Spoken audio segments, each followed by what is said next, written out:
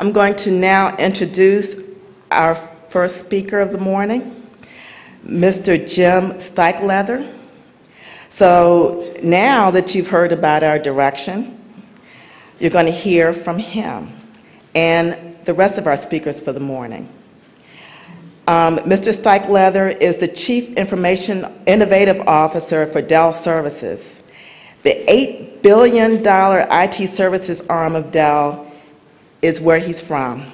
In this position, he leads a team of IT and business experts who identify, evaluate, and assess the future potential new technologies, business models, and processes used to address evolving business, economic, and social trends, both for the company and for their customers. For more than 25 years, Jim has designed, developed, and implemented information and communication technologies that help business and institutions succeed. He's an expert in digital infrastructures, evaluation of emerging technologies, and strategic guidance, provides strategic guidance on their applications. Please welcome Jim Stikeleather.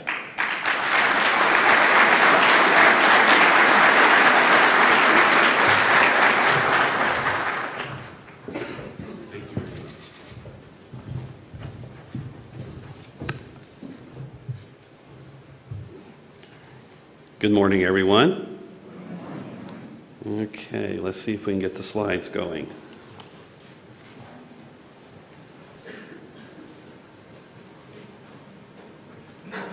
Uh, where'd it go?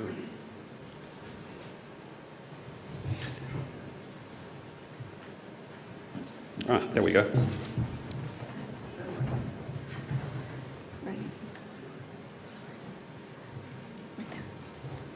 All right. I'm going to talk to you. I already have a problem. I can't help walking around. This is going to be difficult. Um, I do have to start off um, making the comment that uh, Laura asked me if there's anything in the world she could do, to, do for me while I was here. She'd be glad to take care of it. I want you to find out what Misty has for breakfast. I need that on a regular basis. okay. I'm going to talk to you a little bit about innovation. And the reason I'm going to talk to you about innovation is that I personally, and, and we as a company, happen to believe that the number one issue that's going to face IT for the next five years is innovation. We're going to have more than enough technology to play with. We're going to have more than enough demand for technology to service. And Lord knows we're going to have more than enough problems with both of them. What we're going to have difficulty with is applying them, bringing them together in new, creative, innovative ways in order to provide services to our customers. Now, to start this discussion of innovation, I want to define the innovation problem for you. And I do this through a video. So, some of you may have seen this video in the past. Please don't help your neighbors out. I've never quite done it with an audience this large. It'll be interesting to see the result. But I'm going to define the problem in terms of the 800 pound gorilla that we all know that innovation is. It sits in the room and we sort of talk about it, but we don't really do a lot about it. Only the problem with innovation is this 800 pound gorilla is invisible. So, with that, we're going to watch a movie.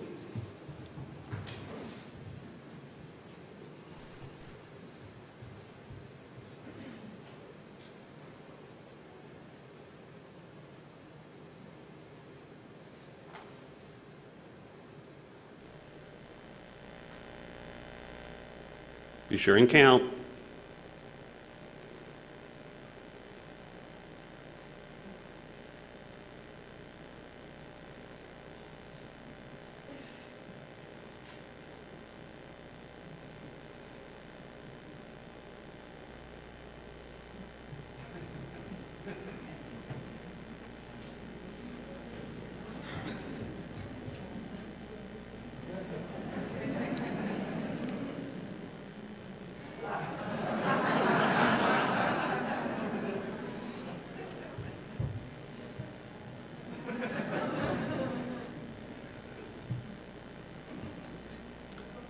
Okay, how many of you are totally embarrassed because you didn't see the gorilla? Yeah, I can see the hands. Yeah. It's interesting, particularly in smaller groups, when I actually use this video, nine out of 10 people will not see the gorilla. They're so intent counting those people wearing white, passing the basketball, and by the way, most of them will actually get the, the 15 correct, but they'll never see the gorilla. And that's the innovation problem in a nutshell. We're so focused on budgets. We're so focused on the next technology refresh. We're so focused on that list of service levels that we haven't met that we don't stand back far enough to look at see what's happening overall in the big picture. How are all of these piece parts together? And we totally miss the invisible gorilla that's innovation. So hopefully what you'll walk away from today is an understanding of what is necessary to be innovative, what innovation really is, how you can go about being innovative, and then I'm going to give you one approach for how you might begin to be innovative inside your IT organizations. So I've defined innovation as being the invisible gorilla. I also would like to kind of talk a little bit about what innovation isn't, okay? Innovation is not the weird guy sitting in the corner that are creative and nobody wants to talk to and we can't deal with them and they're egomaniacs. The fact of the matter is innovation truly can be a process. It can be systemic. It can be repeatable. But it takes some work to get there, okay? Innovation does not have to be disruptive. We tend to think of innovation as being disruptive activity. It's not. It can be a sustaining activity. It can create new ways of doing what you're doing today, but doing it better. It doesn't have to be a totally new way of doing things. I think one of the key things about innovation, especially today, and the rate of change that's taking place inside of our industry, is you either innovate or you die. And that's fast becoming the mantra within the technology space. One of the things that you're seeing taking place with my company, along with a lot of other companies, is you're starting to see yet another consolidation of what's going on.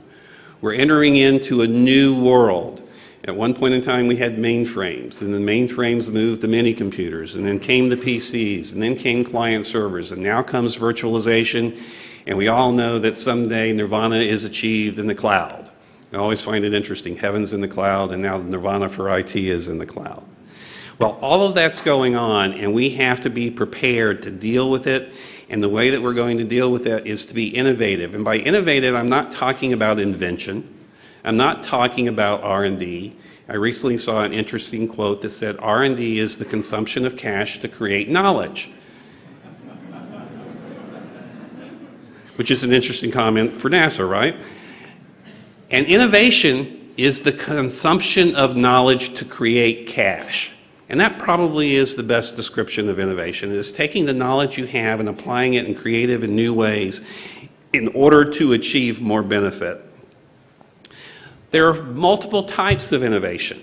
There is technology innovation. And technology innovation is not necessarily inventing a new technology, it's finding creative ways to apply the technology. Uh, the example I have up there is the $100 PC. It has a little crank. The crank generates the power. It has, has uh, built-in internet, and the whole thing is meant to be priced at under $100. There is business model innovation. Who better than Southwest Airlines to demonstrate the ability to totally innovate an industry on its ear? Product and service innovation. Uh, to this day, I am still amazed uh, I remember watching Star Trek and thinking, oh, more than anything, I want one of those communicators. Guess what? I got one. Actually, my problem is, is I have three of them at the moment. But that's another story that we'll talk about as we get a little further through this. And then process innovation sit and think about how many of you have seen the old World War II movies? And, you know, um, one of my favorite when I was growing up was Victory at Sea. In fact, I can still hear the music in the background. Am I showing my age by talking about that one? No, nah, so it's interesting because there was one episode of Victory at Sea that it said the war was really won by the merchant marine. And it talked about, you show them loading all of the Liberty ships and, and, and loading, you know, the cranes lifting up and dropping the, the, the tanks and everything into it. Do you realize that the technology of container ships that we have today was totally available back then? This was not a technology innovation, this was a process innovation, a new way to think about shipping and, and, and in particular, shipping in sea lanes. And as I indicated, innovation is not just the matter of you know, the disruptive breakthrough type of innovation, but there's an entire continuum, one of, of process, one of breakthrough, and ones of game changers, like Southwest Airlines was. And as I indicated, there are multiple ways to innovate. Most people uh, think innovation is the guy up there in the upper right-hand corner and you him, throw him into a room and he comes up with these great and wonderful ideas. But the fact of the matter is innovation can be done in a very systemic, repeatable, sustainable process. Now, let's talk a little bit about innovation within the context of IT. As I indicated, I think the number one problem that's going to be facing IT on a going forward basis is how do we innovate? How do we take all of these new technologies that are coming into the forefront for us, all these new ways of delivering technology, and creating a new value proposition for the IT department? Now, the first thing that I always uh, talk about is something that we in the engineering or, or the computer science world tend not to, to, to take seriously, and that's the fact of the matter is, we don't really cause change to take place. We think we do. We think the invention of the PC was a wonderful thing that totally changed the world. And that's not true. Change only takes place if there is an underlying economic reason for the change, or an underlying social reason for the change, or there's an underlying government regulatory reason for the change. All technology can do is enable the change, facilitate the change, or accelerate the change. We don't cause the change. And if you want to be innovative, you want to understand that because your ability to innovate is your ability to understand those social trends, those economic trends, those business trends, those government and regulatory trends, foresee where they're going to end up, and then figure out how to take a technology and apply it to the problems it's going to create. We live in interesting times, which most of you will remember is a famous Chinese curse. And the interesting time is times is taking place in across a couple of dimensions. The first of which is the fact that some really interesting technology is coming into being. How many people have heard of the cloud? Oh, come on, guys, it's not rocket science. All of us has heard about the cloud. If you go back into the computer science literature, we were talking about the cloud, although the term utility computing was used back then, back in 1964. I didn't even know we had computers in 1964, but apparently we did. A little company called GE and IBM were making them. They even had time sharing, which was interesting. But we're entering into a world where the concept of utility computing is possible. The technology is enabling what the economics have always called for. That's the interesting piece. If you go out and you actually do the study, the economics of time sharing was always better than the economics of traditional mainframe data center approaches. However, there were social reasons and there were business reasons why time sharing didn't take off. Those are starting to change, and the technologies have changed to enable the economics that were there. In addition to that, especially in the business world, the users are thinking about things differently. There is not a CEO in the world who wants to have a capital investment in IT anymore. He wants all of his capital investment to be applied to assets that either create some type of differentiating advantage for them, some type of competitive separation for them, um, some type of higher value add than just doing what other people do. The other thing, and this most recent recession has been a true driver for this, has company that company executives now want IT attached to a rheostat. When the economy goes bad, they want to be able to turn the rheostat down, and when the economy goes up, they want to be able to turn the rheostat up. In other words, they want metered IT. And they don't want metered IT in terms of, okay, charge me for CPU cycles, charge me for spindles of DASD, charge me for bandwidth uh, of network. What they want is they want something that linearly correlates to their business in some way, shape, or form. In fact, I was meeting with a financial institution and they said within five years, I want to come to you for a billing unit. And I don't want the billing unit to be CPU cycles or spindles of DASD. I want the billing units to be accounts, transactions, customers. I want a service level attached to that billing unit.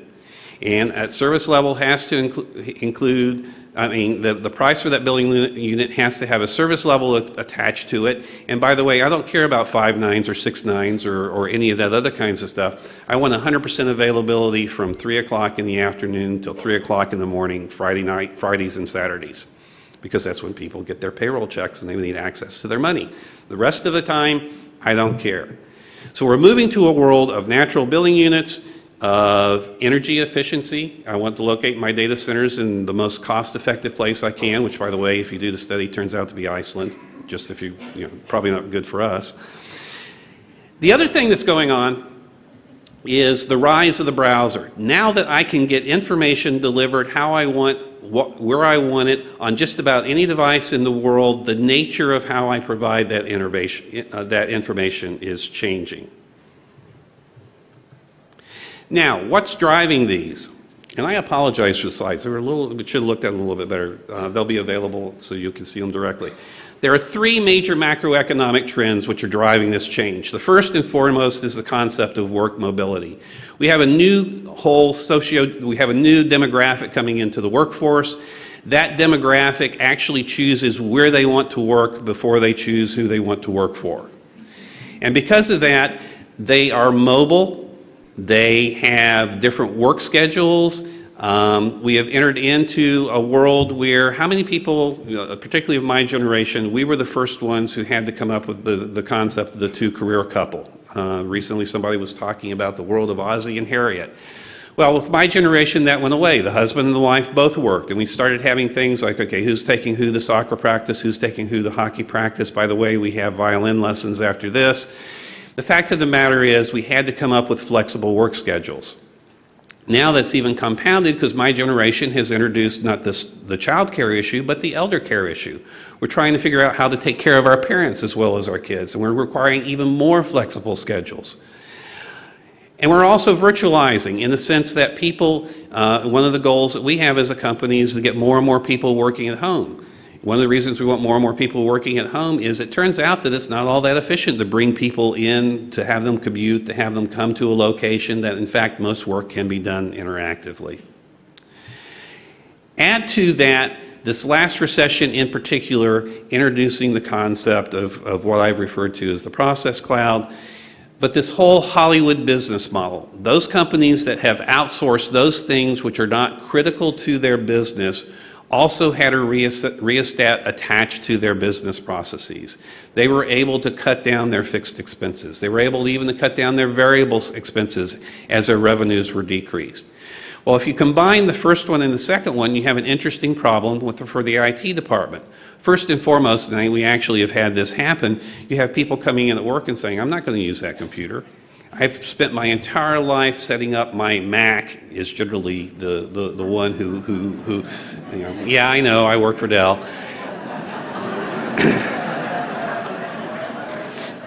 the Mac is generally the one that, the, that the, the, the new employee wants to bring in. They've built their life around it. They have everything automated. Now, you know, we have this wonderful thing called the iPad, which has compounded the issue. And the fact of the matter is, you're working into, you're, you're walking into an environment where we're basically going to have the people coming to work bringing their point of presence device with them that their work device is going to be their phone, it'll be their iPad, it'll be their tablet, it'll be their netbook, it'll be theirs and it's not going to be yours. And think about the security and information compliance problems that's going to cause for you. But it's even compounded more by the fact that we are outsourcing more and more and more of the work.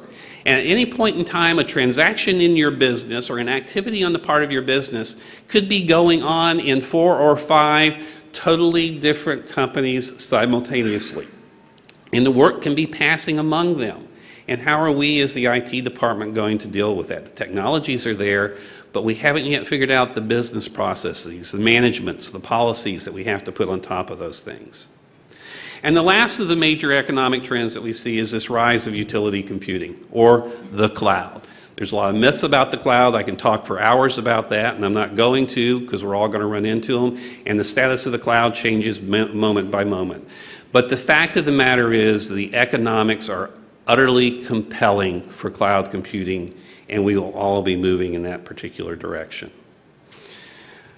I'm just, uh, and I'm just going to talk about three points of microeconomic consideration, if you will. Um, and then, again, these slides will be available to you. The first and foremost, how many people remember Paul Strassmann? Very famous for a Harvard Business Review article he wrote in 1992, which if you were running an IT department, your CEO or CFO immediately handed it to you as soon as the Harvard Business Review article came out. It was the infamous article that said, I have surveyed the world of IT and I have yet to find any business value created by IT.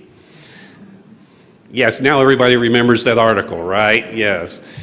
Well, Strassmann is still at it, and in fact, he still maintains there is little or no return on investment associated with IT.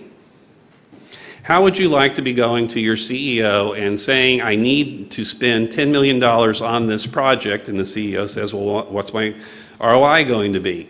Well, my ROI is going to be uh, zero. Mm, not a very pleasant situation. Well, then we have this guy called Nicholas Carr. How many people have heard of Nicholas Carr? He has a wonderful article, Sloan Management Review, I think summer of 2005, called The End of Corporate Computing. Cheery title, right? End of corporate computing, he basically lays out that 90 plus percent of everything IT departments do is ubiquitous.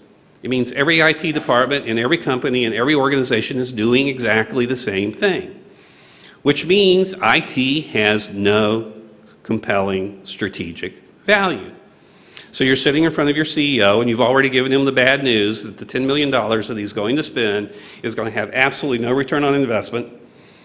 And he says, well, you know, I can live with that if it's going to get me some kind of strategic value. Ooh, so sorry. Nope, not going to happen. Okay. Now, our friends in the ecology world have come up, and the game theory world, have come up with this thing called the Red Queen hypothesis. And what the Red Queen hypothesis, how many people remember the Red Queen? I mean, you can't be a space scientist and not read Alice in Wonderland. Come on.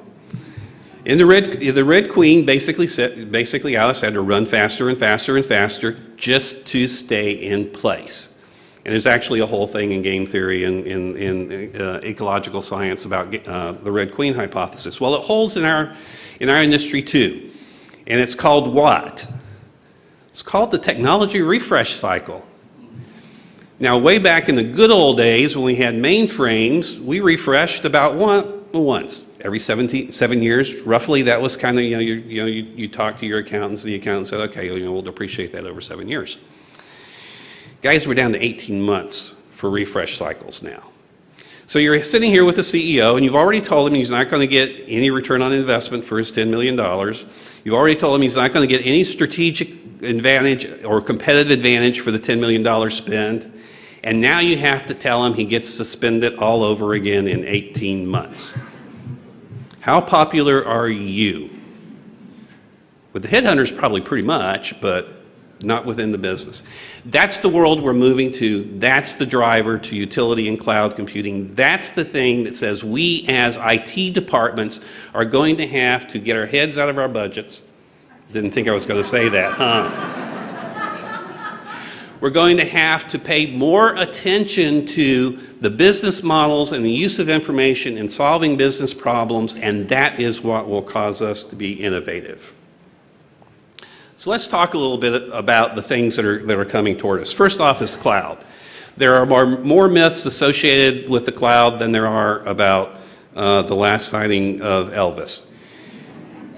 There are only three fundamental types of cloud infrastructure as a service, platform as a service, software as a service. Everything else is built upon the three of those. If you're talking about storage as a service, well, that's just a variation of infrastructure as a service. If you're talking about ERP as a, well, that's just a variation of software as a service. So there's only three basic forms of the cloud.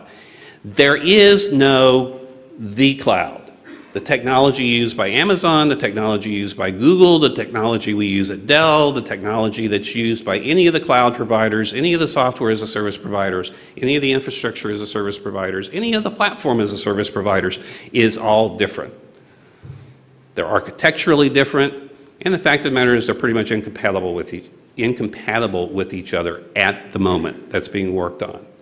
So for the time being, the cloud is an end state for you. You need to be thinking about it, but it's not necessarily what you want to be doing right this second, with exceptions. Infrastructure as a service is a great way to provide services.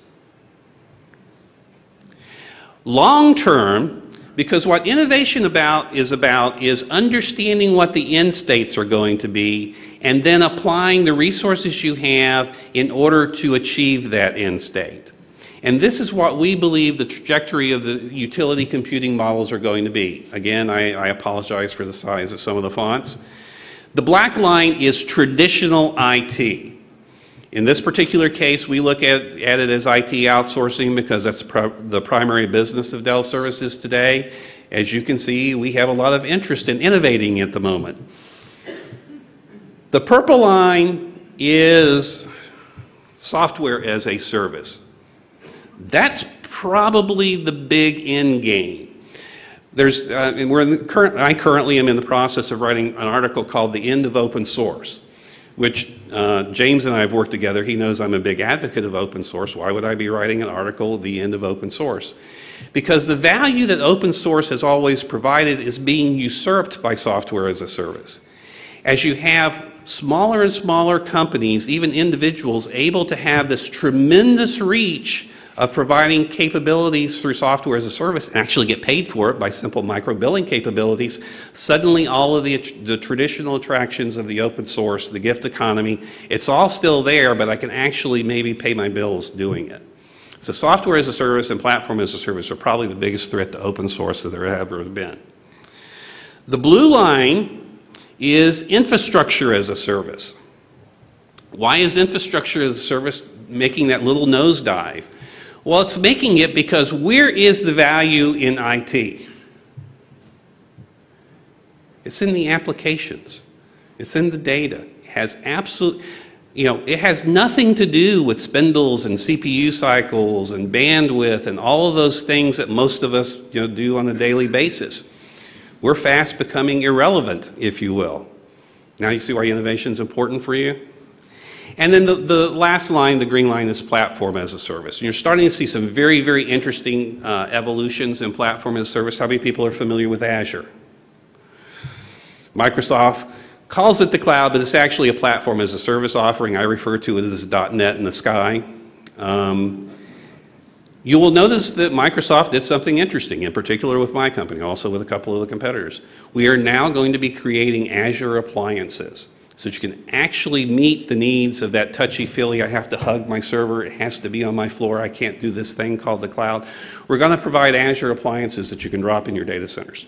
And oh, by the way, because it's an Azure appliance, it'll plug into the Azure cloud that we're building back. In this particular case, we're building it in Plano, Texas, so that whenever you need to expand or contract, you can do that into our facility. And over time, guess what's going to happen? You're not going to care about the appliance anymore. You're just going to use the one that sits out in the cloud. Let's talk about the systems and operations business. We have a current, we, it is currently evolving, and this one is easy. I'll tell you what the end game is. The end game is a virtual data center for every single user. That's what we're evolving to. So that when I am working on whatever I'm working on, and I will get up from my desk and I hit out the door, whatever I'm working on appears on my phone. Or when I get in my car, it appears on the navigation system on my car. We're probably a little ways away from that, but you know, watching people put on their makeup, eat, do their, everything, you know, why not? So we're moving to a world where all of the things that most of us are probably doing in our day job basically will go away. And what we will be providing is a virtual data center for every single user. And by the way, the reason that I say that, and I can't tell you how to get there right now, that's the difference between innovation and invention. Invention is going to tell you how to get there. Innovation is telling you you got to get there and think creatively about how you're going to do that. I will also tell you that the applications marketplace is changing radically, and the end game for the application market is actually very, very interesting. First off, we will get to something called applications components as a service, where I won't buy an ERP system. What I will buy is bits and pieces of ERP systems and use them when I need them. And that even happens today. How many people have ever heard of this thing called a FICO score? Oh, surely somebody's applied for a mortgage somewhere in this room. Okay. You realize FICO score really is, is an application component. This company called Fair Isaacs makes an interface available when somebody wants to evaluate you, whether it's inside their application or independently. It goes out, gets it, does the evaluation, and denies you your credit. But that's not the ultimate end game. The ultimate end game of applications is applications will go away. What will happen in its place is you will have executable images. Those executable images will have a ton of metadata attached to them, and that metadata, metadata will just, blah, blah, blah, say that fast real quick. That metadata will have, will describe what that component can do, what type of data it can work with, under what policies it can work with it, under what governance rules are associated with it. And then you will have data objects sitting out there, which also will have tons of metadata associated with it, describing who can use it, under what conditions, and what type of applications. And when you want to do something, you will conduct a search. And the search will match the executable images with the information objects, and that will be the application of the future. Now, how do we get there? One of the things that um, I always find amazing is companies and, and uh, government agencies, and everybody talks a lot about innovation, but going back to my invisible gorilla, it's really hard to think about innovation when you're worried about your budget, when you're worried about the next technology refresh cycle, when you're losing all of your staff to the new company down the street um, who's offering, you know, startup dollars. Um, the other thing is if you're going to innovate, you got to try a lot of things. Okay? Innovation is driven by failure. That's really hard to say, especially to this audience, because if anybody could never tolerate failure, it was NASA. But at the end of the day, you have to find ways to do lots of experiments, to lot, do, try lots of different things, and basically gain the information you need to innovate. So, how do you begin to get a systemic innovation process in place? Well, the way that you accomplish that is by establishing an end state and work backwards. That's the easiest way to do that. So, how is IT going to evolve over the next 5, 10, 15, 20 years? I will guarantee you and certify today that I will be accurate in everything that I say as long as you don't hold me to a time frame. Fair enough? Okay. This is the evolution that we see. Real-time infrastructures, you heard me refer to the concept of every single user having their own virtual data center. These are the steps that we think are necessary to get there. The first thing we have to do is we have to begin abstracting what it is we do today. You can't begin applying virtualization, be it on the server or be it on the clients, if you can't abstract and define what you're doing today without getting into the, the individual specifics. Once you've begun abstracting what it is you, and by the way, once you've abstract what you're doing today, you can start looking at different ways of doing it. You know, I, it's, it's really funny. One of the, one of the, the, the, the innovation group that, that I am now heading is a brand new group. We've never had an innovation group before. And we were talking about, okay, what are going to be the, um, the deliverables of the innovation group. Interestingly, one of the deliverables of the innovation group will be the new leaders of the organization. And it comes about this way. What's the first thing you do when you get a new employee? You teach them how we do things here. What's the death knell of innovation? Doing the thing, things the way we do things here. So one of the goals I have is how do you get people to, to start thinking out of the box? And again, I'll pick on James. He knows that I have a reputation of not only thinking out of the box, I gen generally don't even know there is such a thing as a box. which is how I ended up doing what I'm doing these days. Anyway, the key is you need to abstract what you're doing today. Don't think in terms of spindles or CPU cycles or this software or that software or this type of, of connectivity. Abstract out what it is we're doing and what we're trying to accomplish.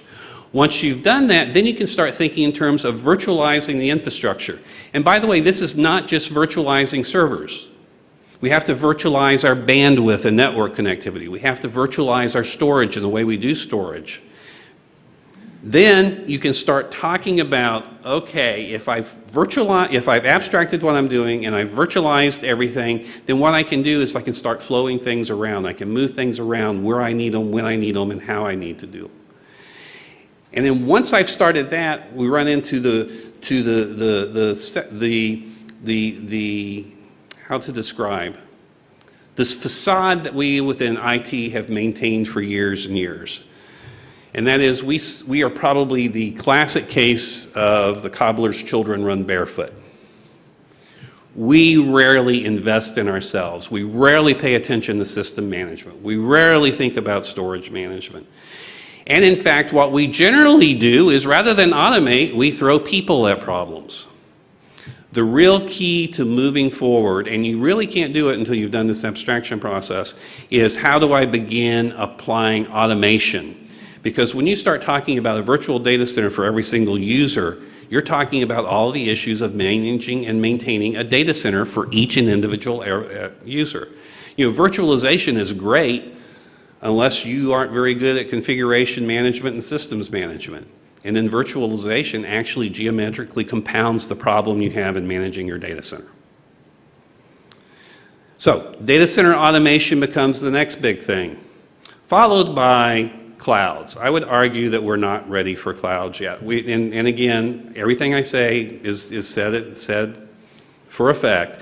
There are clouds today that you can use clouds. In fact, we've, we've been helpful, you know, we helped Ames out with, with the Nebula. Um, but clouds as projected by a lot of the industry is not here yet. Because before you can be effective in using clouds, you have to accomplish all of the things that I have listed here. The other thing in terms of thinking about it end state is understanding where the vendors are going. At the end of the day, what we are likely to see is a very few large hyperscale cloud providers. This is right out of uh, Carr. Carr. Nicholas Carr, in addition to the End of Corporate Computing, has a book out called The Big Switch. This is directly from his ideas. But what you will also see in, is lots and lots of smaller clouds built on top of these hyperclouds that are very niche, that basically follow Anderson's um, long tail theory of markets. This is what's going to cause the end of, of, of open source. And, and I, again, saying that for effect, there will always be some open source there. It's just going to be radically different. You're probably not going to see the Apache projects rise up again. And then the middle, in the middle is a great unknown. It's still evolving, and that is the platform as a service, application componentry as a service providers. They are still in the formation. We do know that today's hardware vendors are rapidly moving into becoming hypercloud suppliers. That's where we all want to end up. Likewise, that's where Amazon's going, that's where Google is going, that's where all the colo companies are going. And then we have today's software vendors who are moving as rapidly as possible into the platform as a service space. What type of technologies and practices are involved in this end state? Well, clearly virtualization is. Virtualization is taking a piece of hardware and making it be, appear to be lots of different pieces of hardware. Clearly cloud technology is, which is taking all of those virtual pieces of hardware and putting it back together so it looks like one thing, which I always find humorous. The Web 2.0 and the Web 3.0 technologies, how can I take and uh, totally independently developed and created pieces of functionality and bring them together into a single one? ISO 27000. The world we are moving to is only going to work if we get better at security. And it's not security as we know it today. Security as we know it today is basically a boundary condition style of security. It's also a binary. You have access or you don't have access. At the end of the day, we are going to have to figure out how to do digital rights management or digital restrictions management. Here's a case where we can go outside of our industry and look at things like what the entertainment industry has developed. How many people are familiar with something called MPEG 21? It's worth reading about. It's actually a brilliant digital rights management environment. The reason we have to do that is not just the security issue, which, by the way, is, is, a, is, is almost a fool's game. You will never be able to be 100% secure with a boundary type condition. It's, it's an impossibility. But because of regulatory and legal issues, what's going on in the world today is more and more laws are being passed requiring personal protection of information. If you will, how many people are familiar with, with the term fiduciary responsibility? If you have a bank or if you have somebody who's doing transactions for you, they have, by law have something called a fiduciary responsibility. That same concept of responsibility is now being applied in law to your personal information, whoever holds that personal information. Now, the Europeans are really getting strict about it, but we're moving into it. In fact, Massachusetts passed one of the most interesting, restri restrictive, probably impossible to implement privacy laws that I have ever seen. In fact, I, I sometimes jokingly say that there's probably not a company in the world that is not in violations of Massachusetts privacy laws right now. The Germans, particularly when it comes to healthcare, have become very stringent. How many people have seen the Apple uh, iPhone ad where the person's looking at the MRI on the, the doctor's looking at the MRI on the iPhone? That's great. You can do that today. The technology exists. If you're a German doctor and you're on, a, on, on one of the bullet trains, as soon as you cross the French border, your iPhone better shut down. I mean, shut down, because that's what the way the German laws lead, read. How many people know what is the one application that almost no company in the world runs anymore? They've totally outsourced. The one application is outsourced. Almost every company in the world has outsourced. Payroll. Why is that? You know, it's just an application. We can all run a payroll application, right? They outsourced it because they couldn't afford the accountants and the lawyers necessary to keep the payroll system up to date. That's why payroll was outsourced. One of the problems facing us as IT is that any information we hold about individuals and individuals' transactions probably is going to have the same problem that payroll has today. And there's not a whole lot in the business world that hasn't associated with business with individuals and individual transactions. I indicated to you a little bit before, we are the cobbler's stepchildren. The fact of the matter is we have to be much, much better at process. process. ITIL v3 is only part of the answer. We got to go all the way. We got to get better at process and better at automation of our processes. BPO 2.0, that's more oriented to business people, less like a scientific community. But basically, what I was talking about that businesses have found we've got to outsource more. If it's not critical to my company, either it's not core or does not in some way, shape, or form provide competitive separation or competitive differentiation uh, for my customers, I'm not going to do it anymore. And then the one thing nobody talks about, but probably the single most critical thing to the end-state is unified communications the fact that our phones, our laptops, our TVs, our, and in fact, we started using the term point of presence device, which we borrowed from the telephone company, simply to reflect the fact that I am going to have a context that I do my business in, that I operate in, and that context has to be able to move with me wherever I go. And in fact, because we are so distributed, distributed and we're working with so many partners and so much is outsourced, we're going to be totally dependent upon the communication system for maintaining the context of our work. And therefore, unified communications will probably be the critical underlying infrastructure we all use. Now, the oblig obligatory note from your sponsor. The way we are looking at this at Dell is through something that we refer to as our MetaCloud model. That at the end of the day, we have to be concerned about compute, about storing, about preservation, about securing the information. And we also have to recognize that this is not going to be an overnight switch. You can't rip out everything that you've got and put in all of this new stuff. That we have to find ways of layering the technologies and capabilities and processes and security and everything on top of existing systems. So someday, you may have an AS400 as a service offering. You may have, and, and I'm, I'm showing the age of some of the systems that we operate inside of Dell Services. We still operate MUMPs. How many people remember MUMPs? Yeah, I keep expecting to walk onto our, our, our raised floor one day and actually see a Multics system running. I just, uh, it's, it's like an archeo- archaeological expedition. But that's the model that we're going to move to. And that will then be the infrastructure as a service. And what the infrastructure as a service is really going to be concerned about is the DRM stuff that I was talking about. How do I secure access, not just in terms of permission to see or use and, or not, but in who can use it for what purposes at what point in time. And do you have specific permissions? One of the things some of the European healthcare laws basically say is, you know, today if you have an x-ray, it's probably not a radiologist inside the building that's looking at it. It may be a radiologist in India that's doing the analysis of your x-ray. Under some of the European laws, that can be done as long as you, the person, have given permission for that to cross national boundaries. Well, how are you going to do that? Well, you're going to probably do that by pulling out your phone saying, yes, I give that permission for that person to do that at that point in time. But we don't have any infrastructure in place to do that today. So what you're going to see over time is this layering of infrastructures on top of infrastructures to enable the end state, and then we will pull things out from underneath. And that is what you will need to focus on from an innovation viewpoint. And it's not just the data center issue. Every device will probably be virtualized. Every device has the ability to participate in part of this infrastructure as a service, platform as a service, software as a service model.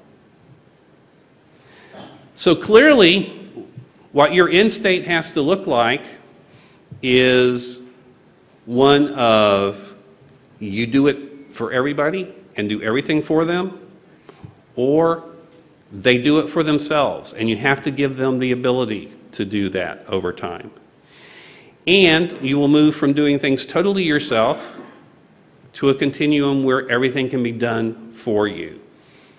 In Nicholas Carr's book, The Big Switch, and actually in the article, The End of Corporate Computing, he spends a great deal of time drawing analogies to the electric, electric industry, the power grid. And if you think about it today, I have these lights staring me in my eyes. I'm not going to be able to read anything for the rest of the day. However, the electricity driving that could be coming from Canada. It could be coming from the Pacific Northwest. We don't know, and guess what? We really don't care. Well, the fact of the matter is, we as an information industry is moving in the same direction. And as long as we understand that, then we can quit counting the basketball passes and see the gorilla walking through the room and start figuring out how we're going to deal with it. Thank you very much, and I hope you all have a wonderful conference.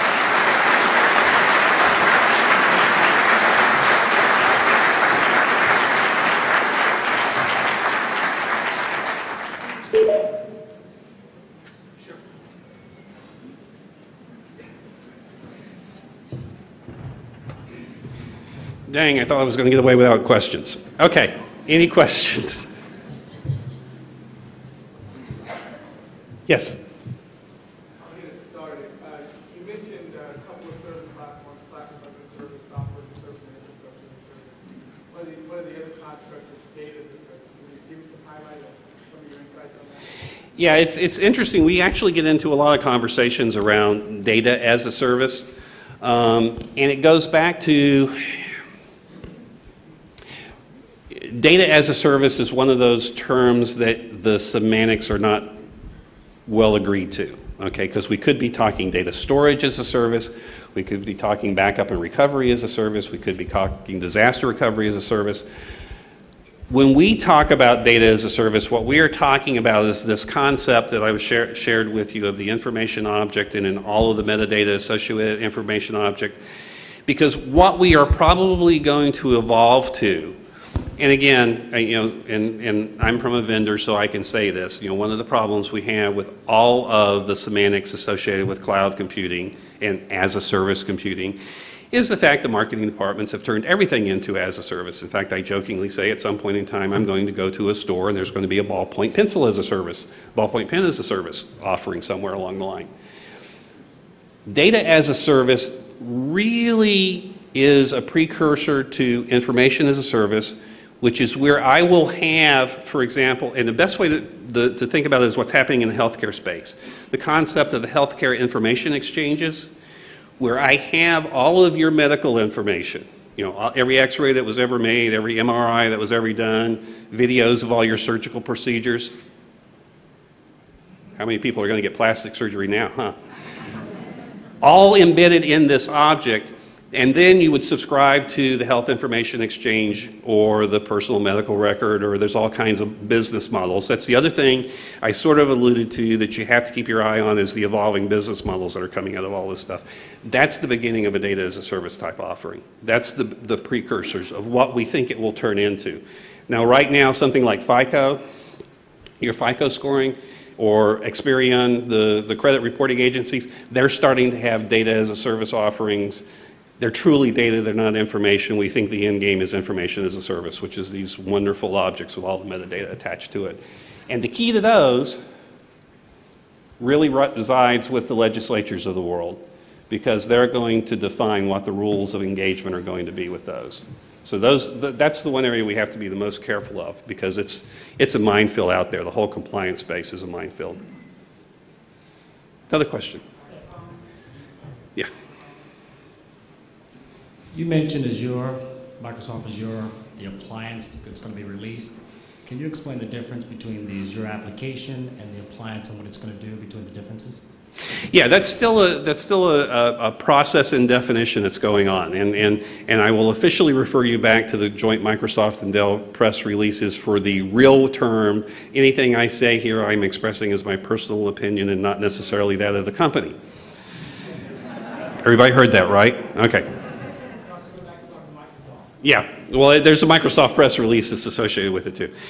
The idea is this, okay?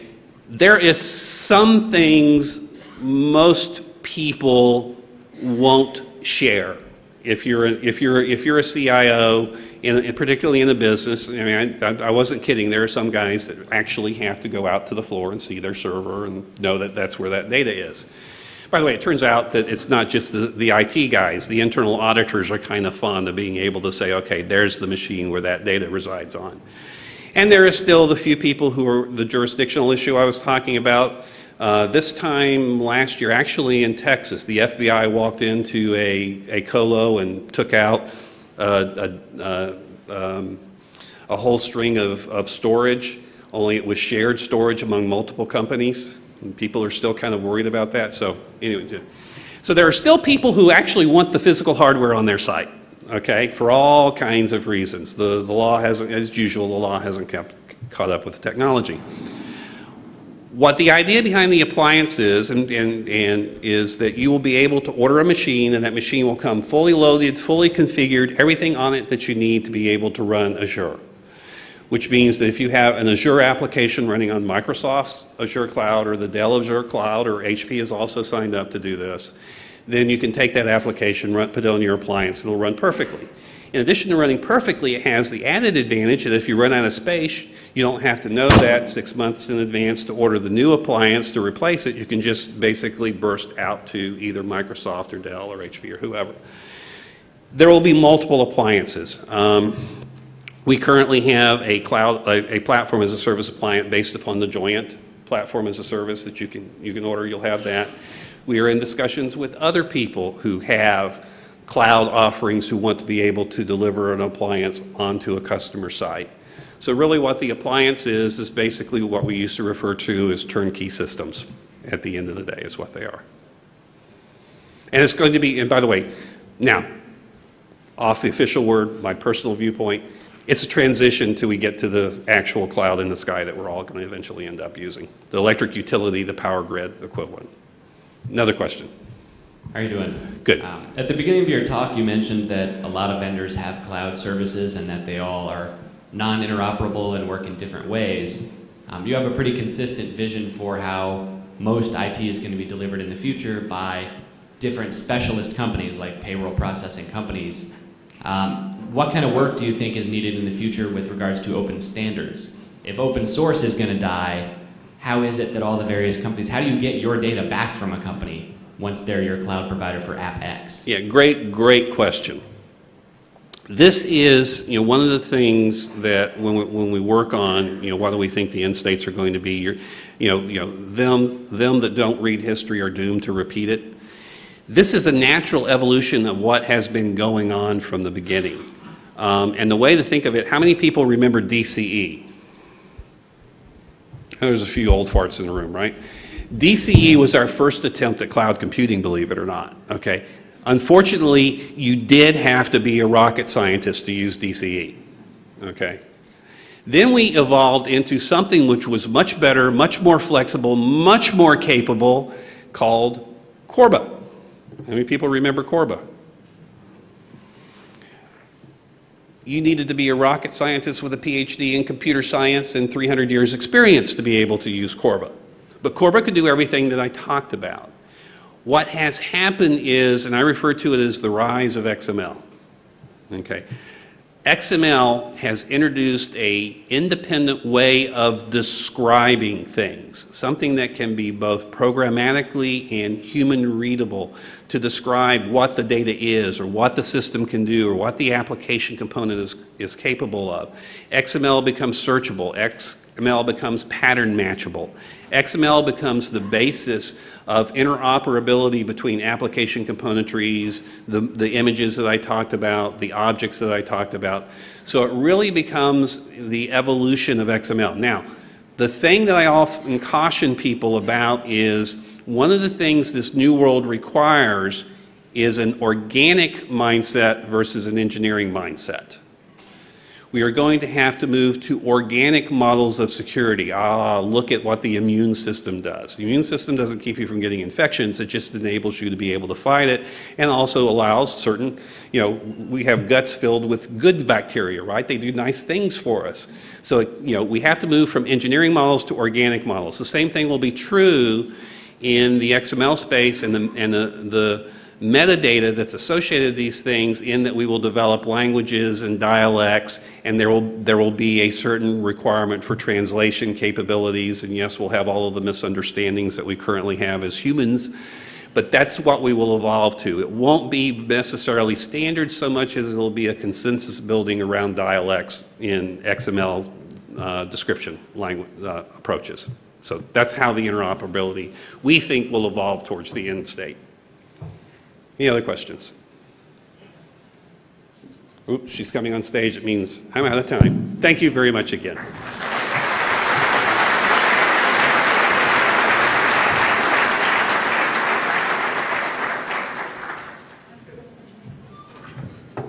Thank you. Great presentation. Um, we heard what is innovation. It's not a nice to have. And if we don't do it, we'll meet terminal decline, organizational demise. Um, we heard about the types of innovations, and one of the things that I thought was really remarkable was on the slide that talked about the types of innovation had this thing on it looked like a blackberry. I used to have one. I wonder what that's like. Um, and imagine the Dell guy talking about iPads, and a Mac. That, that was just really amazing. And one thing, Jim, the, the uh, chuckles in the audience about Paul Strassmann, it predated me, but he is a former NASA CIO, apparently, I hear. Um, and then finally, we heard about how us IT people have to get our heads out of our budgets. So that certainly is something. There was a slide on there that looked like it was created by our CTO for IT, Chris Kemp, and Cliff Ward, our ITIL manager. Processes and innovation all in the same place. That was amazing. So thank you very much. Um, I want to, before we start the break, give a shout out to a member of our executive team who could not be here because he's working on a latest upgrade of technology, and that's Kemp 2.0. And uh, his wife recently had a baby, August 5th, John Carter Kemp, 6 pounds, 10 ounces. And I hope that he's out there watching us. If you are Chris Kemp, give us a tweet out and let you know you're there. So 10:15, we'll be back, 10:15 sharp. Thank you very much.